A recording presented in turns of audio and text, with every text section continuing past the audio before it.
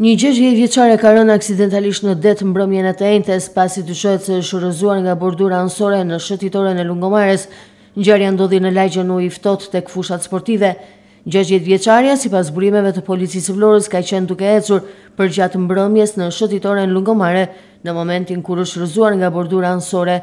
Sipas burimeve policore, thuhet se në momentin e shëtitjes në Lungomare, gjashtëdhjetë vjeçarja ka patur probleme të shëndetit, çka mund t'i kenë shkaktuar edhe rrëzimin aksidental nga bordura. Pas rrëzimit ka përfunduar në det në një pjesë me gurë sipas policisë, duke marrë edhe dëmtime të shumta në trup.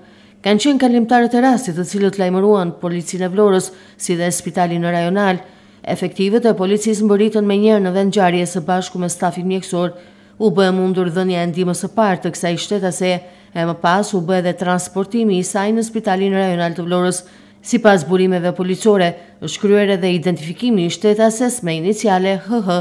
Sipas burimeve nga Spitali Rajonal i Vlorës, gjashtëdhjetë vjeçarja vijon të marrë ndihmën mjekësore në këtë spital, ndërsa raportohet se është jashtë rrezikut për jetën fatmirësisht. Grupi hetimor vijon ndërkohë hetimet për këtë ngjarje për të përjashtuar pista të tjera të dyshimit.